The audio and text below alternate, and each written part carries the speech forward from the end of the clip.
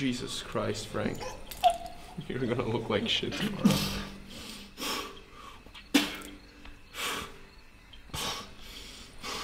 Alright, alright, easy now. Why did you do that? Do what?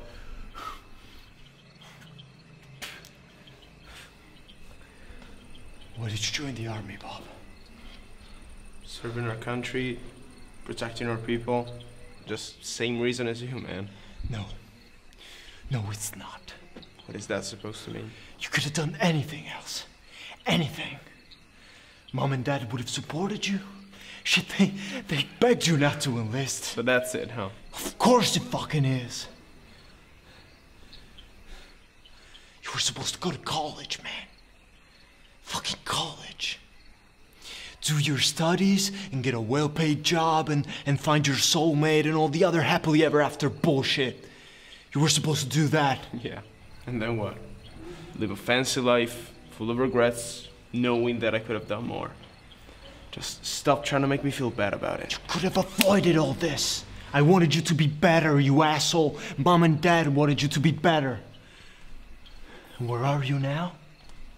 Same place as me. And next week, you're gonna be on that field too. You weren't supposed to do that because you had something I never had. You had a fucking choice, Bob. Because you never had a choice, did you, Frank? You know, you did have a choice. You had a choice when you dropped out of high school. You had a choice when you started hanging out with that friend of yours. What was his name again? Steve? Steven? You had a choice when you made mom and dad come pick you up in the middle of the night at the hospital because you OD'd in a fucking crack house. That's not the point. Yes, it is the point. You had a choice your entire life, Frank.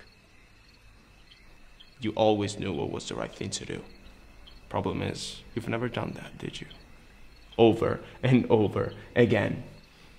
So you really shouldn't be talking to me about choices or whatever. Because you backed out your entire life, Frank.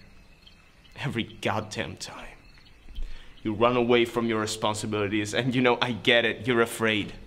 But don't you ever try to blame me for your mistakes and for your fucking failures.